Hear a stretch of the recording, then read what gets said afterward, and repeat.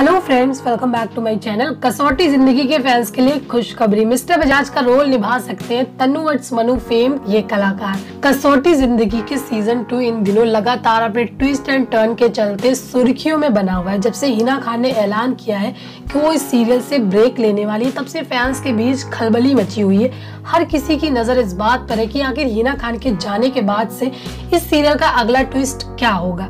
अगर आप भी इस सवाल का जवाब ढूंढ रहे हैं तो हम आपके लिए एक ज़बरदस्त खबर लाएँ। आपको बता दें, एकता कपूर जल्दी इस सीरियल में मिस्टर बजाज की एंट्री करवाने वाली है। ऐसे में सवाल ये है कि आखिर मिस्टर बजाज कौन बनेंगे? एकता ने हाल ही में खुलासा किया है कि वो इन दिनों मिस्टर बजाज के लिए सही कलाकार की तलाश में है।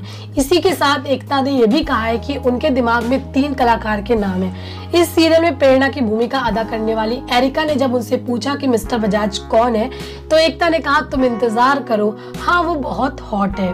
खैर, अब ये लाजमी है कि एकता कपूर मिस्टर बजाज के किरदार के ज़रिए इस अगले ट्विस्ट को बुलाने की कोशिश करेंगी। ऐसे में हमें इंतज़ार करना होगा कि आखिर वो कौन कलाकार है जो इस आइकॉनिक किरदार को अदा करेगा। वैसे कई मीडिया रिपोर्ट्स में दावा किया जा रहा है कि एकता कपूर की लिस्ट में सबसे ऊपर नाम एजाज खान का है।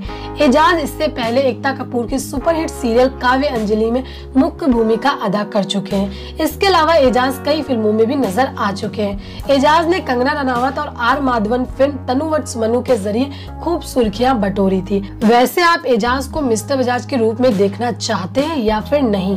कमेंट करके अपनी राय ज़रूर दीजिए। अगर आपको ये खबर अच्छी लगी हो तो प्लीज़ आप मेरे चैनल को सब्सक्राइब कीजिए और बेलाइकन को प्रेस कीजिए। Thank you.